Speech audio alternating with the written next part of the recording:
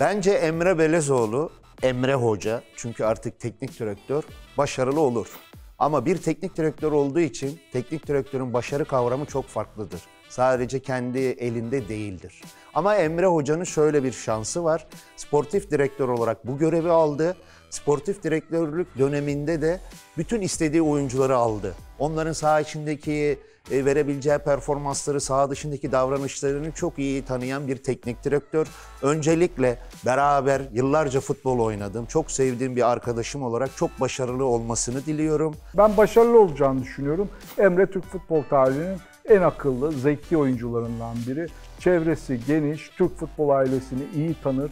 Başkanlar, teknik direktörler, oyuncular Emre Belözoğlu'nun e, tanıdığı isimlerdir. Sahada ne olup bittiğini iyi bilir. İyi bir kurgu yaratacağı düşüncesindeyim. En önemlisi Emre çalışkandır, çok çalışkandır. E, futbolculara karşı da bir pozitif hava getireceğini düşünüyorum. Benim desteklediğim bir isimdi ama Erol Bulut'la Fenerbahçe'den negatif bir hava gitti. Ero, e, Emre Belözoğlu'yla da pozitif bir hava geldi. Şu andaki gözlemim bu. Emre için hayırlı bir yol olmasını dilerim. Evet Emre Belezoğlu ile beraber e, Fenerbahçe'de yeni bir yapı, yeni bir kan değişimi. Normalde e, futbolun DNA'sında olan bir şey var. O da teknik ekip, teknik direktör değiştikten sonra takımlara bu pozitif olarak yansıyor. Ben bu yansımanın da pozitif olacağını düşünüyorum. 3-4 müsabakada Fenerbahçe'nin kaybetmeyeceğini düşünüyorum. Ancak e, asıl sorulması gereken soru bence şu. Fenerbahçe sezon sonuna kadar Emre Belezoğlu başarılı olduğu takdirde devam eder mi etmez mi? Bunu konuşmak lazım. Bence şu bir gerçek, e, Emre Belezoğlu'nun Erol Hoca'dan daha net bir oyunla, e, oyun planıyla sahada olacağını ve bu anlamda da başarılı olabileceğini düşünüyorum. Emre Belözoğlu'nun e, aynı Sergen Yalçın gibi çok başarılı bir teknik direktörlük kariyeri olabileceğini düşünüyorum. Hem karakter olarak hem e, özellikle Fenerbahçe gibi efsane olduğu bir camiada başlayacağından dolayı başarılı olması bence son derece muhtemel. Özellikle Erol Bulut'tan çok daha fazlasıyla e, futbolcu kadrosu Emre Belözoğlu'na saygı duyacak ve onunla çok daha motive maçlara çıkacaktır. Ben Emre Belözoğlu'nun başarılı olabileceğini düşünüyorum.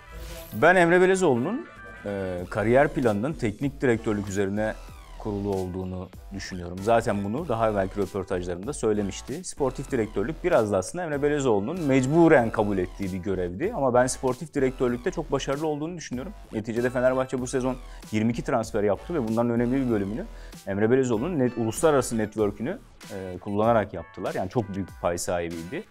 E, bununla birlikte ülke futbolu adına uluslararası markalı futbol markalarımızdan bir tanesi Emre Belözoğlu. Dolayısıyla biraz çabuk atıldı teknik direktörlüğe ama zaten hayali ve planı buydu. Kendisi deklare etmişti.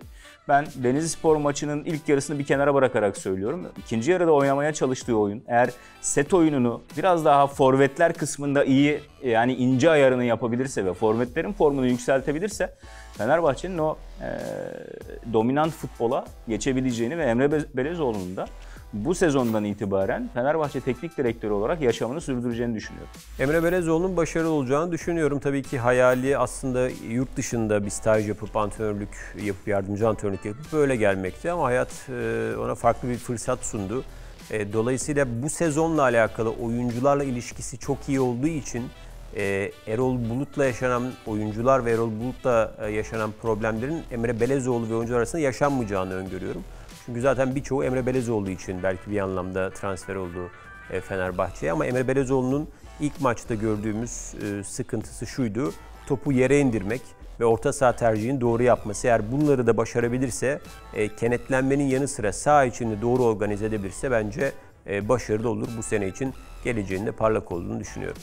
Emre Belözoğlu'nun başarılı olup olmayacağı 10 hafta üzerinden okunacak bir soru değil. 10 hafta üzerinden ancak yeni sezonu devam edip etmeyeceği okunur. 10 hafta yeni bir teknik direktör adayı için ki şu anda hala teknik direktör adayı benim için 10 e, hafta sadece geleceğe yönelik sinyaller verir size. Fenerbahçe'de farklılık yaratmasını beklediğim bir iki detay var. Bu detaylara dokunabilirse önümüzdeki yılın teknik direktörü olur.